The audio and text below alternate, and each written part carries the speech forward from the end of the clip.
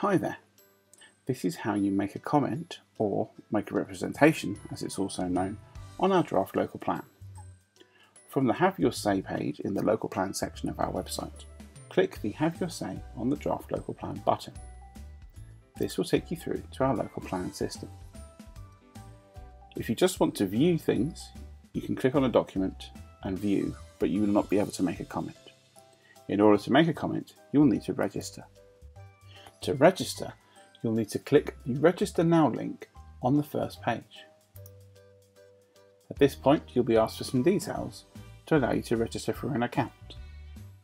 Once you've registered for an account, you'll need to log in. Simply enter your email address and password and hit the login button. Once you're logged in, you'll be able to comment. Simply choose the item that you wish to comment on and then use the green pencil icon at the side to record your comment. You can specify if you're supporting, objecting or commenting, enter your information and click submit. Please note that if your representation exceeds 100 words, you'll be asked to provide a summary.